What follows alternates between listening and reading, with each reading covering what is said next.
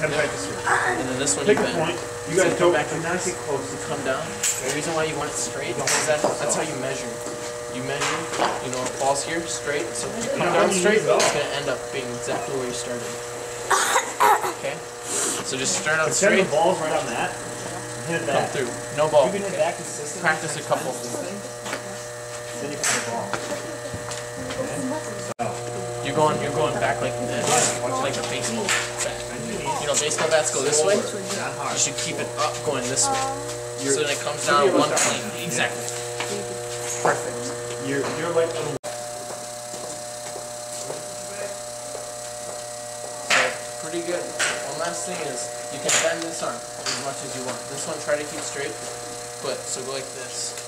So and then so this can be up a little.